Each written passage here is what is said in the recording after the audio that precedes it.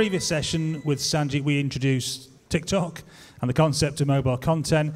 Uh, in this one, which is called The Only Way Is Up Creating Sports Content for Mobile, we're going to delve a little bit deeper into that, into the creation of that content. To help me do that are Robbie Spargo, Director of Little Dot Sport, uh, Scott Miles, or as we called him this morning, Miles Scott, who's Sky Sports Senior Content Operations Manager, Mike Norrish, Director of Digital and Creative at Premier League Productions, and Sharon Fuller, who's the founder of the Rational Collective. Welcome to you all. Thank you for joining us today.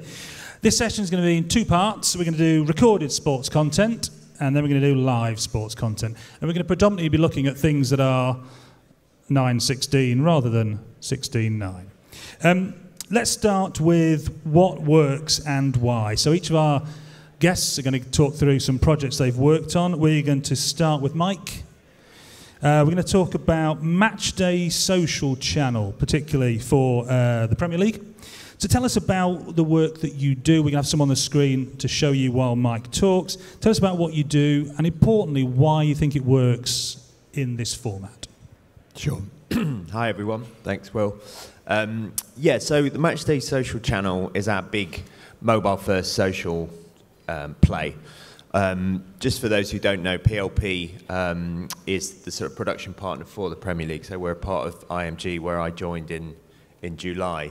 And the, the big reason for me coming and, and the new digital and creative team that I've built was because loads of our broadcasters were telling us that social was super important to their business, so they needed um, more content in order to leverage those big social audiences.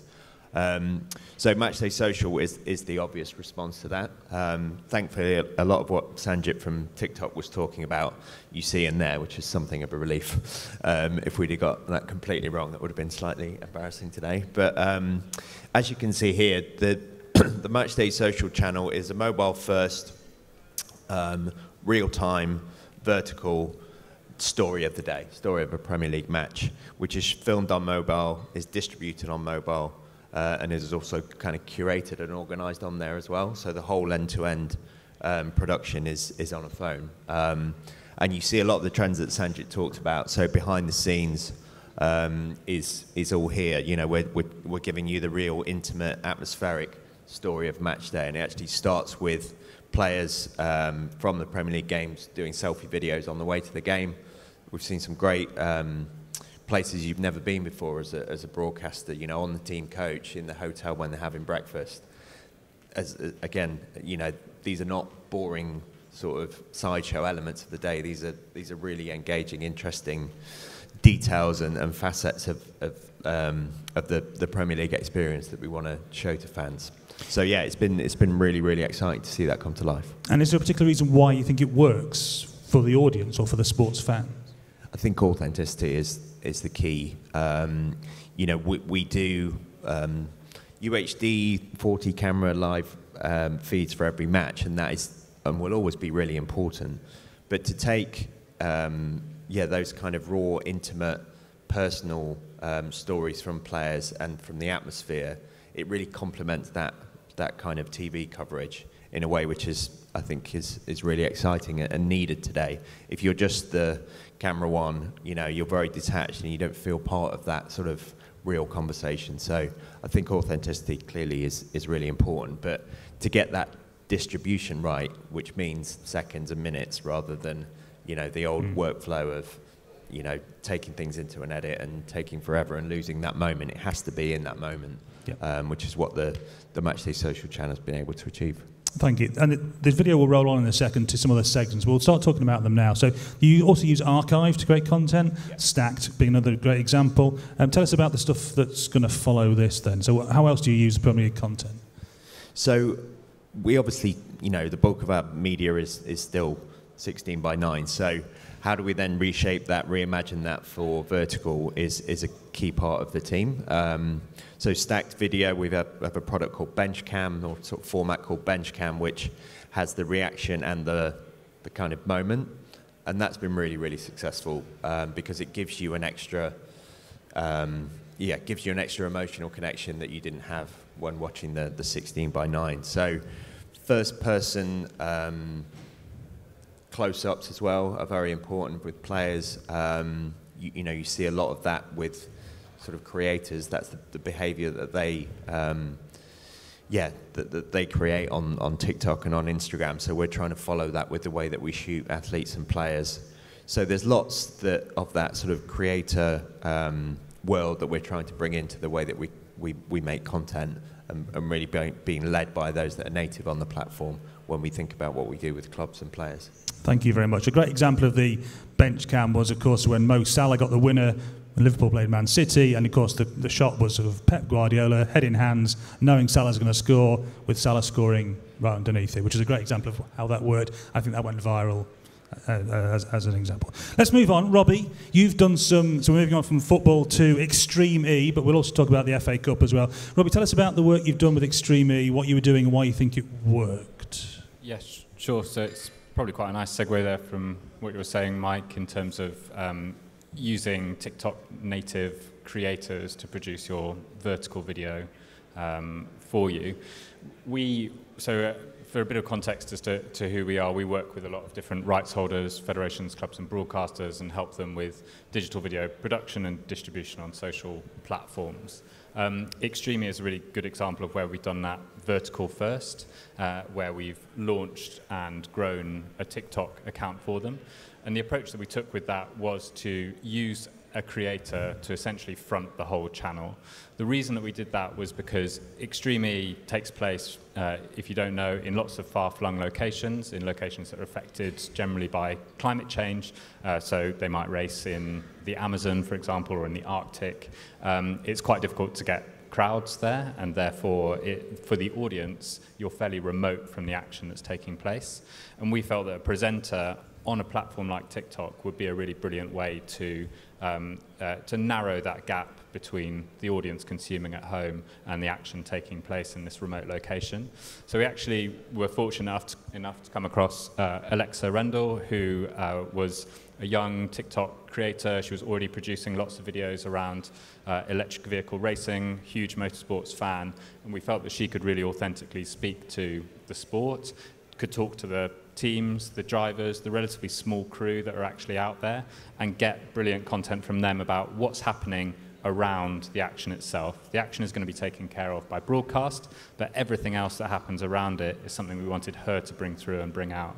So we took a kind of um, original content first approach to, um, to the distribution that we did on, on Extreme E, which is very different to the approach that we took on the other example that I think is playing there um, with the Emirates FA Cup. And the reason that we couldn't take the same approach there is that this is a brand with a, a, a lot a much longer history. They've got a lot more content and a much bigger archive. And we felt that actually the opportunity there, in terms of vertical video, was to lead with archive content and to make that a kind of key pillar of our strategy. What that would then enable us to do is, if we had a team of creatives working on this account who really know the FA Cup inside out, which they do, uh, they're able to use the content from the archive in uh, tandem with trends that are taking place on the vertical video platforms like TikTok. So if there's a trend, I don't know, there was a big one around running up that hill with Kate Bush, they can use that music, they can match it with some archive, uh, create some kind of um, trend that is going to create some kind of content that is going to tap into the virality of that trend and, and gain more exposure for the cup that way. And then around that archive, we felt that we could sort of um, elevate the work that we do with, uh, with match clips, obviously uh, within the rights that the FA um, retain, uh, and then certain number of originals, but really those being done uh, in collaboration with, um, with other creators around the platform. So that was a much more archive-led strategy, see by the, um, the Thierry Henry example that would have played there um, taking archive and just elevating it slightly, matching it up with music and viral trends uh, to, to make it cut through a little bit more strongly than it would otherwise. Thank you very much. Scott, I guess you've got some similar examples, but we're going to talk. Uh, we've got some more football to show. We've got uh, Youri Tielemans uh, scoring some goals and putting some funny faces. But tell me what you do at Sky when it comes to sort of 9 16 content. Yeah, uh, hi everybody. Uh, so I think for us, we've got a huge breadth of, of 16 by 9 content shot. We don't shoot anything really in 916, but we're getting more conscious of, of we want to produce in 916. And obviously, our, our live output and all of our broadcast, we're trying to identify those moments. And it's moments like the, the Tielemans goals, two very similar goals that he scored, um, that the 916 frame just gives you a different take. It gives us the ability to use real estate in a different way that in a traditional 16 by 9 view you wouldn't be able to do. So we wouldn't be able to present these two goals at once. Um, and obviously the freeze frame on James Maddison's face is gold as well. And I think that just attracts an audience when they see that. And, you know, at that moment they want to see it. And I think that the key to, to Sanjeet's point as well is it's got to be relevant, it's got to be quick, it's got to be in the moment. So we need to draw that audience in immediately, especially on a platform like TikTok. Um, the interview was brilliant as well, and, and again, the faces from, from Tielemans reacting to Maddison's uh, man of the match performance. Um, and, we're talking about shooting content. We are shooting in 16.9, but we're trying to be more conscious around the 9.16. The, the Pickford uh, chat around the Jorginho penalty from the, the Euro finals and the, the pep talk he gave himself. We're making sure that when we're sending our crews out and we're shooting this content, that we're, we're framing sensibly. So when it comes back into to producing, we're able to, to produce 16.9 versions, absolutely. We want that on our platforms. Uh, but equally, we would need to be relevant, present on other platforms, and we need that 9.16 version. So the guys are, are, really smartly doing that, and then we're bringing it into in-house, and we're producing the content, and we're, we're able to get it broadly across everything because we've got such a variety of platforms and such a wide breadth of audience to reach. We need to offer a, a huge variety of content now. It's the only way. Thank you. Um, Sharon, you waited very patiently. We're going to contrast quite starkly what Scott's been talking about there, multi-million pound Premier League football rights, with some more up-and-coming sports, shall we call them? Um, Freestyle Football Association, Freestyle uh, Gymnastics, uh, Fabio Vib, uh, is it Wibmer? Yes. Wibmer, who's an Aust- Austrian cyclist and stuntman, who we're going to see doing some crazy shit in a minute on the screen. So tell me, tell me, uh, and you're thinking TikTok first, where Scott's talking about broadcast first. You're social first, aren't you? So tell us how these pieces work for you and why, why they came about and why they're successful. So this is uh, the video is just to give an example of how a 16 uh, a 9 a 16:9 video is then is then reframed. And a lot of the stuff that we're shooting, we're shooting actually on 360 degree cameras, so that we can actually fully reshape and re-edit in a spherical edit, rather than looking at taking something which is a flat image and just putting a box around it. So it's much more detail in terms of the way that we're thinking about how we edit these things. Um, and a lot of that innovation comes from the fact that these people don't have a lot of budget when they're starting out. So um, with some of our sports like freestyle football, they naturally fit to a kind of 916 frame. And actually, a lot of those athletes already have quite significant followings on TikTok. And then you're bringing it into a professional sport kind of the other way around. Um, with something like freestyle trampolining, it's naturally a 916 sport. So these are sports which have been born in social, which are already having an engaged audience and then are kind of moving in the opposite direction to everyone else. Rather than going broadcast down, we're kind of going social up. Um, what is it that you think? I, I know why I like it because it's crazy, but what, what is it that, about this particular type of content that works so well on mobile then? Well, what's, what we're doing here is also actually taking the graphics off of video. We're right. simplifying it. Um, this works with or without sound. It has an incredible soundtrack, but this actually is designed to work without sound as well, so that it's more mobile friendly. Um, part of this is actually built around a campaign so that it's intended to capture your eye instantly because we're not uh, we're not sports that have a casual audience that's just following football in the way that you would. This has got to capture your attention super fast in that kind of swiping environment. So everything we're doing, we're thinking about every shot and the composition of it at the top of a video to make sure it's capturing attention and stops you to make you watch it. Fantastic, thank you. Let's talk a bit more generally now, if we can. Um, Scott, I think you mentioned briefly the need to be everywhere. How realistic is it to be everywhere? Can you create different versions of content for every single different platform, every single mobile platform? Is that a realistic proposition? It's, it's not. It's probably not realistic. It's a challenge. It's a challenge, and we try and remain relevant. I think it's identifying the right content for the right platforms. Right. So, so a moment like you know the, the Tielemans' face, his reaction to that interview, brilliant. It, it's a viral thing. Um, there's, we want to create those short moments that are going to be immediately drawing people to watch and keeping them in. We then have the different activations, sponsorship activations. How do we create content around that? But equally, try and explore the vertical way of doing it, um, and that's where we have to shoot sensitively. Um, there are tools. Obviously, there's there's AI. There's various things we can look at around helping us produce that content. But I think we're still we're still on a journey. We don't know.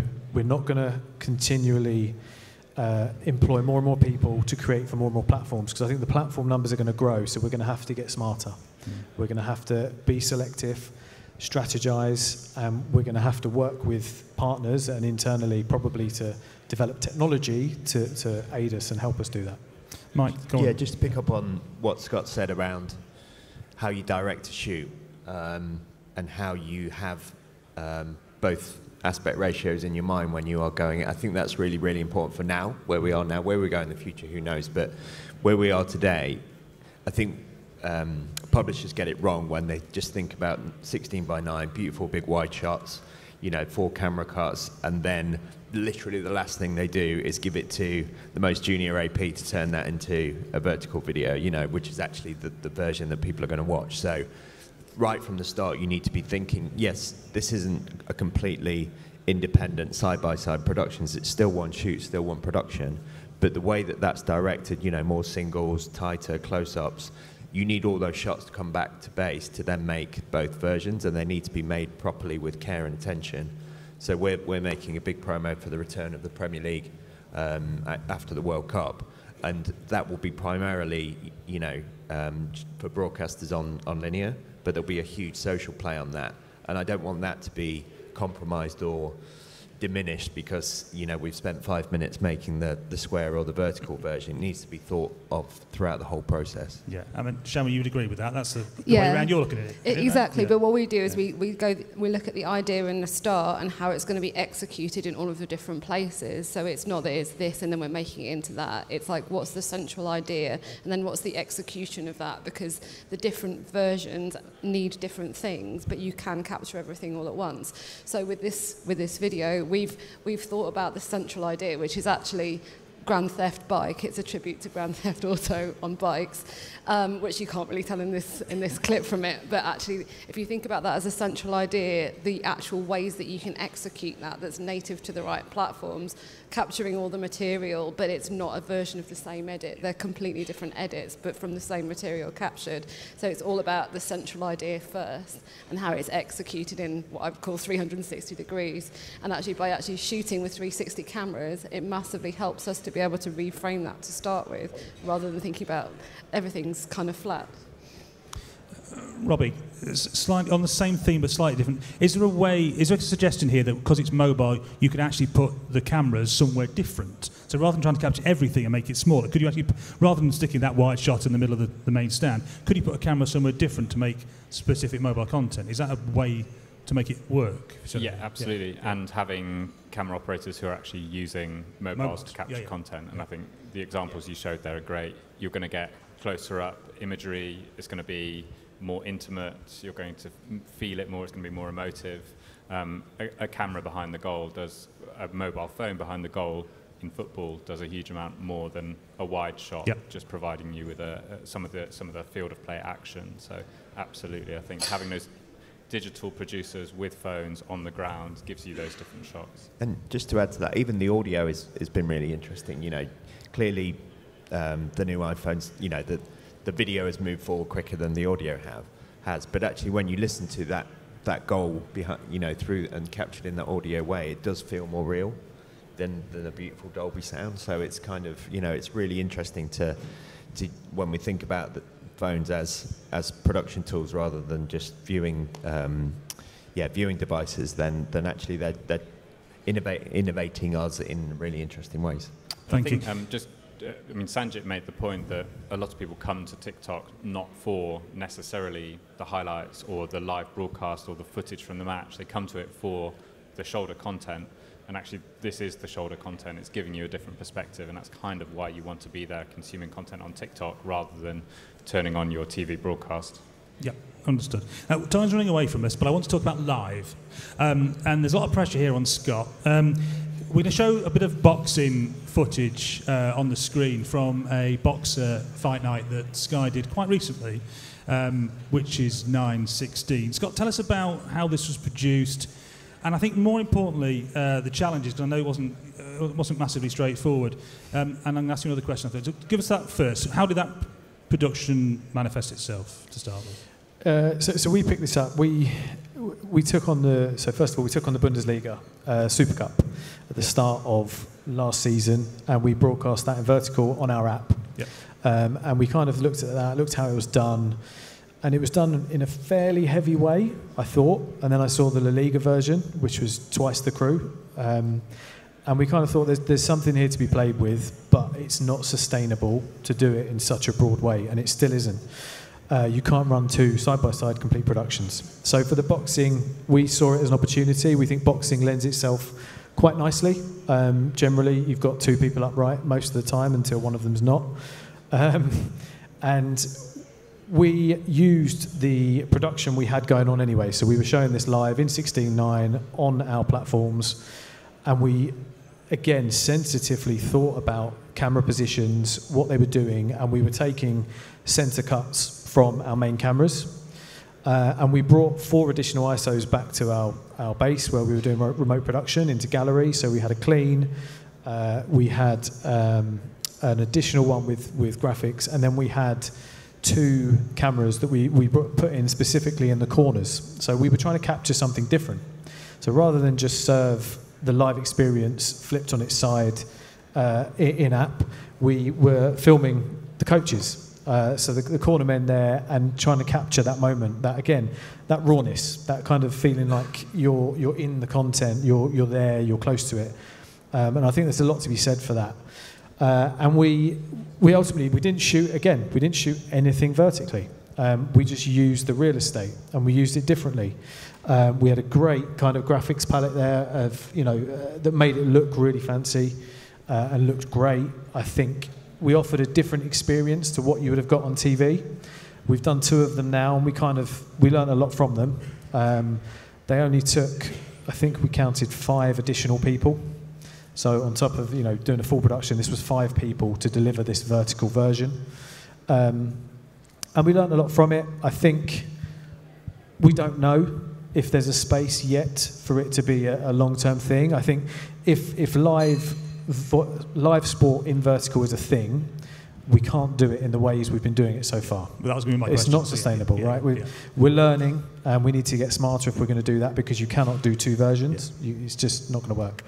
Um, but equally, is it where people want to watch it? We need to learn that, and I don't think we know the answer. Yeah, there is a Jurassic Park question here. Well, just because you can doesn't mean you say you necessarily should, but I think it's probably a question for an entirely different session. Um, Sharon, you've done some live stuff. Yes. You, your way of doing things was quite different from Scott, though, wasn't it? Yes, it was. So um, my previous client, the e-scooter championship, we did do live streaming in 916, and we did it twice. Um, and actually the way that we did it was to use a, a resizing piece of software which was driven remotely. So we sent the, six, the 16.9 feed back, used a piece of software and reframed it and we broadcast it onto our website, um, which was designed that you would watch it in 9.16 And actually, what we did it was in partnership with NEP. Um, but we made the graphics swipeable, so we took all of the graphics off the feed so you could swipe sideways and see the results and the timing and then swipe them off again to give people an option to see how usable it was in terms of the 916. And actually, people were swiping on and off to see what the status was, but they were mostly using it without the graphics on, which for us was a super interesting thing. Um, the other thing that we did is we provided, so we took no extra people on site to do that. And we, uh, because it was all then managed remotely, uh, we also were able to send them a reverse feed to the camera guys so they could see how the framing was working in 916 and reframe what they were doing um, without having any additional people. It was two extra people back in the remote gallery. Editorially speaking, did you, was it a success? Did you, did you think you successfully produced a nice piece of content? I think it was a, a good piece of content. I think it showed a different uh, view to the sport because actually it was much closer in on a lot of the action. Yep. And the other thing about electric scooters were they were the right shape. Yeah. The right, It was conveniently fitting for 916. I'm not sure it would work for every sport, but that kind of framing for that kind of sport really worked. That's a beautiful segue to my next question. Thank you very much, Sharon. Um, uh, Robbie and or Mike, do certain sports lend themselves better to 916 than other sports? Robbie, do you want to take that? Yes. Are you talking specifically about live or? Yes, so, but in fact, b- both live and pre But discern, do you need to, does table tennis, because it's a nice square shape, is trampolining, which we'll come to in a second, these are, do they lend themselves better to it than Yeah, I think, I think absolutely. And I think the point's been made that some of these sports, just the way that they're set up, lend themselves much better to vertical. And I think when it comes to live, you need to really think about whether it's worth the extra ask of a viewer to consume it uh, in a format that might not be quite so aesthetically pleasing rather than just turning their phone around. Uh, so, you know, if you're going to consume a football match for 90 minutes, probably if you're going to sit down and watch for 90 minutes, you can go to the extent of turning your phone around to watch it. Um, so I think you've, you've got to really think carefully about whether it's genuinely uh, the right kind of um, uh, cost benefit for the viewer. I think when it comes to video on demand, almost anything can work in vertical, but with the kind of editorial approach that we've seen, with the split screens, uh, with a different angle, um, with a different editorial take on it, basically. Thank you. Um, Mike, what's your take on this generally? Is football a good sport for live 916? Not really. No, there you No, go. I don't think it is uh, physically. You know, it's about dimensions of the pitch, isn't it? Um, but I think the other factor, I agree with what um, what Robbie and Scott were saying. I think the other factor is around audience. So, you know, golf, for example, could be a good sport, but are there loads of golf fans on TikTok who are desperately looking for a vertical version of the, you know, sort of Portugal Masters? No, probably not. You know, which is why fighting's such a good example. Yeah. Because you know, you, you, it is, so there's two considerations. There's the sort of size of the pitch and the camera angles, and then there's is, is that audience on those vertical platforms? Are they, you know, and all of the sports that Sharon um, has talked about there, you know, absolutely, and, and also I think, fo- you know, fighting football's probably the one, right, which has a massive TikTok audience, but then has the the problem of the pitch dimensions, and I don't think you're going to enhance the viewing experience by turning it round. Certainly not for live. No. So flipping that on its head, um, something like trampolining probably wouldn't necessarily work on television, but actually is ideal for social media. So you're working with the Freestyling Trampoline Freestyle Association. Trampolining Association, yeah. I'm glad we got that out. Tell me, uh, elaborate on that. That would work far better, surely, on a mobile than on my big screen telly at home. Yeah, so the, the sort of trampolining that we're talking about here, I, I call it Red Bull cliff diving in reverse. It's really, really high. Um, and, uh, and actually the reason why they bounce so high is so they can get so many tricks in before they get bounced back and back up again. So for a sport like that, it's, it, you know, it's born on TikTok and Instagram. Um, it's actually where it comes from. And the community of flippers, which if you look it up, if you don't know, is actually really massive. Um, flippers make money out of a career of showing what they can do in vertical video on social. But then when you try to put, take it out of vertical and put it into, into traditional telly, it just doesn't work. It just looks like a big wide room with someone jumping up and down. You're le- much less focused on the action. So it's one of the few things I think where it, it lives for 916. Fantastic. We're coming to the end. I want to bring this all together. Um, you each got to go at this sort of quick fire final round. Um, thinking about everything we've talked about so far, um, both live and pre recorded, how will the thirst for mobile content and thinking mobile first impact the broader sports broadcasting sector? So, in, the, in this room, there will be people from all sorts of parts of sports broadcasting, be, be it the camera, uh, traditional OB end, right through to app developers when we're thinking mobile first, coming to you first, Sharon, if that's okay, what, what will this new way of thinking, how will it impact on the wider market? I think there's some sports that will just never go to TV and they won't care about it because they'll be able to mm. monetize themselves entirely in this way. Um, and I think that that kind of has a lot of impact in terms of the traditional model of how you might become an Olympic sport, for example, mm. because some sports, a lot of sports historically really care about that. And I think that this will become less of a thing. Mm. That's very interesting. Mike, how about yourself? What's the wider connotations of all this? I think one of the things we haven't talked about is the the ex, you know when it comes to live is the experience of what what you're actually doing while you're watching. Mm. And you know, if I'm watching a, a, a football match on TV or, or cricket on TV, I'm actually using my phone Yep. very heavily throughout that. So if we just you know think of live as you know as a as a passive um, thing, then the mobile is going to be terrible for that because you want to be texting, you want to be um, chatting, betting, being on, on other social platforms in that sort of second screen way. So if we are doing more live on mobile, then it needs to be connected so that you can still read your messages and you don't have to go in and out of apps all the time. Otherwise, you're just forcing people out of there, and the, the, uh, ultimately dwell time of that sort of live experience will be reduced because of that be- native behaviour. That's really interesting. Really interesting. Thank you, Robbie. How about yourself? What do you think this impact will? What's the wider impact of this? So I think for me, what, what we've seen is that uh, the closer that sports content is in terms of the way it's surfaced with other types of content, the more sports content is being influenced by those other types of content. Yeah. And I think uh, we're seeing more and more sport as entertainment, sport crossover with fashion and music, uh, general entertainment, comedy, uh, and, and that's going to enrich the kind of the sport storytelling landscape and produce some very different types of content because of that proximity um, with, with, other genres uh, that's happening on mobile and social platforms. Fabulous, thank you. Scott, final word from you. How do you see this impacting maybe even on, on what Sky does? I mean, or, but more specifically, the broad industry. What does thinking mobile first or thinking about the mobile viewing of content, how will it change the way we do things? Uh, I, I, think to add, it's kind of a bit what Mike said there. I think there's everyone's watching TV, everyone's watching live sport on their big screens, and they love it, but they're on their phone. And I think for us, we need to learn how do we leverage that? How do we join that together, that experience? And I think, is it by putting something different, additional, unique on the mobile phone uh, that's live as well?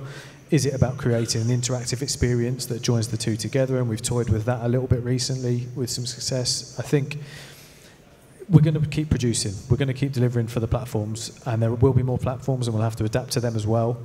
But we have to be smart about it, and we have to keep working with the technology partners and, and internally with our teams to make sure we're doing it with the resources we've got, and we're we're attracting the new fans, the new audiences that you know aren't our traditional hardcore viewer, our subscribers that we have today, because we will need those people and we'll need them to come and be customers. That's a great note to leave on. Thank you very much. Really thought provoking stuff, guys. Thank you for your time. Please join me in thanking the panel for their time today.